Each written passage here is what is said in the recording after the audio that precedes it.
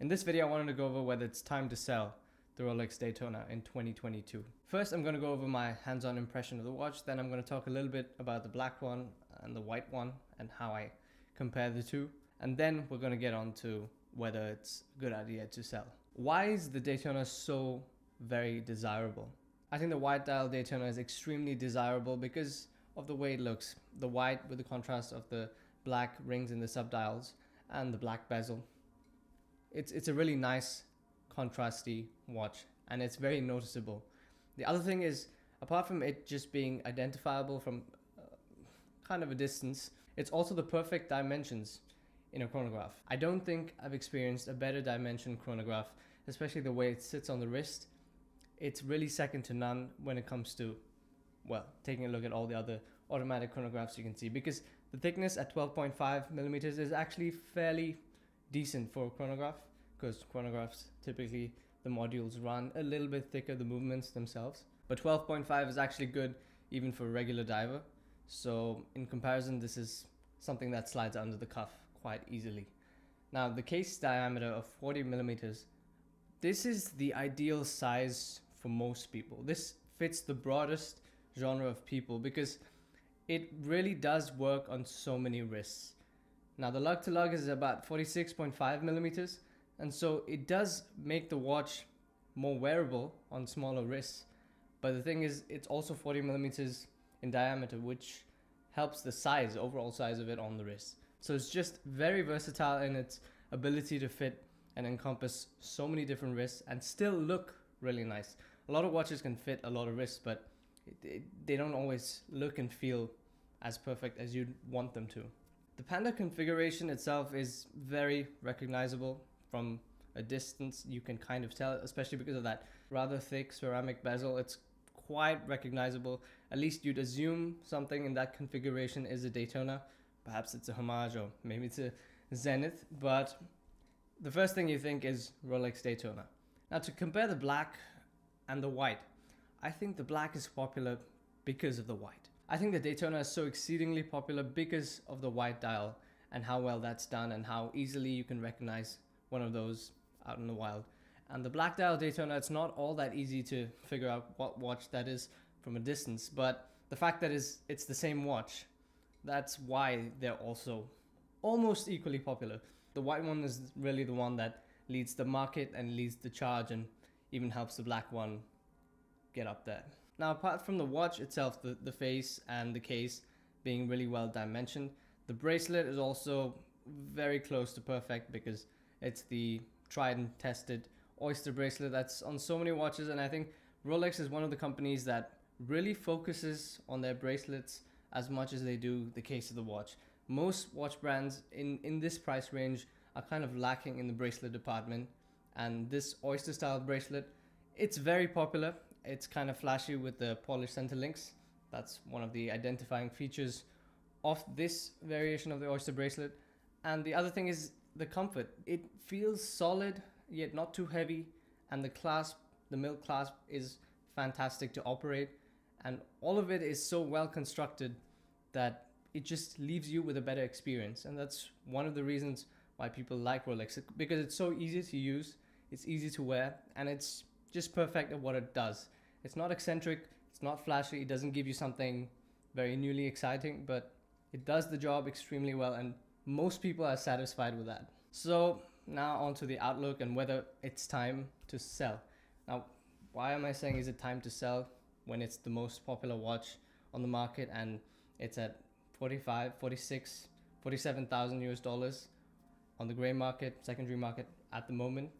Why would you sell something that appreciates so much? Well, I think because when you're getting close to 50,000 US dollars, there is so much more to experience in the watch world, especially in higher end horology. You can get better watches, not just subjectively better, but objectively better watches also. You can get so many Vacherons in that in that range. You could get the plain 56, you could get a complicated one, a calendar 56, and you can even get the 41 millimeter overseas blue dial right now it will soon no longer be under 50k, but right now I think you can still get one around 50,000 US dollars. And to me, that represents so much more value than a Daytona, especially when you consider the movement of the watch, the history, the heritage, And the way it looks, I think the VC is is a stunning watch, and I would pick that any day over the Daytona, given even even a similar price range. There are other companies to look look at. There's so many other companies other than Rolex, especially watches that retail higher than the Daytona that sell for less. And there's a lot more complications you can get to experience. There's a lot more variety. This is just a chronograph, well executed chronograph, and it's an automatic movement.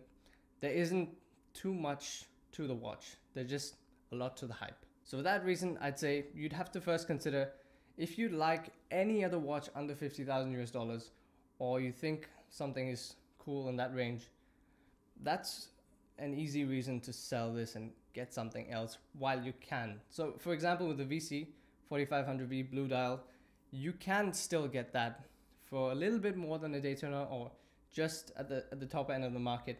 And I think you won't be able to do that for very long. So I would personally do that. I would make I would make that trade in a heartbeat. And if you're not interested in VC, there's just a plethora of watches under 50k, and I'm sure something is more interesting to you than a plain chronograph. And the second consideration is did you buy it at retail? If you bought it at retail, then it might be a little bit more special to you. Perhaps it makes sense to keep it. Maybe it's the watch that, maybe it's the only watch that you wanted and, and you actually wear it. Then sure, don't sell it. But if you bought it at a great market value or anywhere above retail and you've already made a considerable margin, then why not get into something you like even more? Obviously, this doesn't apply to those people that don't like any other brand other than Rolex. There's a lot of people like that that only like Rolex and will only get Rolex. Sure, those people, well, can't really say anything to that, but if you're interested in exploring other brands, then I would just sell it. The third consideration is is it your most exciting watch or is it your most exciting investment? So there are these two aspects to most popular steel Rolex watches because they are both exciting to some and investments to I think more people than people that are truly excited about that particular model. Now, if it's your most exciting investment, I do think there are other watches that could appreciate a little bit more. If, if you're really into watches, you'd be able to find that and move into that and experience something new and wear that. But if it's your most exciting watch, that's kind of surprising to me in that 50k range because I think there's a lot more exciting models. So either you've already explored everything and you're sure that this is the one for you, then of course there's no point talking about the values or the price or what the market's at because that's irrelevant to you. But if it's actually the most exciting watch in your collection in terms of the horological aspects of it or the complication of the movement, then there's a lot more under 50k that you could get into. So overall, will the Daytona continue to appreciate? Very much likely. That's what it's done. That's what it's likely to do in 2022. Perhaps 50 over 50k by the end of the year, or even sooner than that. So it's really a decision on whether you want you really want this safety net of the investment aspect of it, or whether it's the perfect watch for you and you don't care about anything else, or whether you've just had it because it's popular and because of the hype if it's that reason, then I would personally consider getting into something else. That's pretty much it, guys. I want to know what you think about this topic. This watch is so extremely hyped and popular, especially this year. So I want to know what you would do and what you are doing if you have the piece.